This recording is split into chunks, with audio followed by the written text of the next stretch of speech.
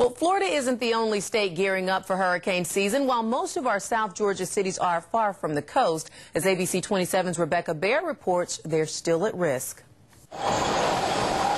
Once again, hurricane season's upon us, but not everyone is ready. What have you done to get ready, if anything? Nothing. not a thing. Look to the man above. He's not alone. Emergency management officials say 80% of Georgia residents are unprepared.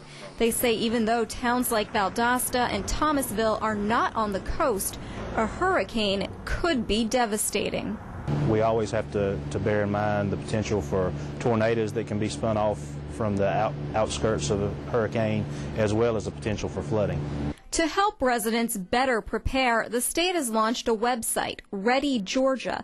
It allows families to create their own personal supply kits and emergency plans. So even if we don't have a hurricane this year, but we have a wildfire, or as we saw recently during the flooding, the, the same preparedness efforts apply um, in generally to, to all types of disasters. A useful tool year round because sometimes you don't know when disaster will strike.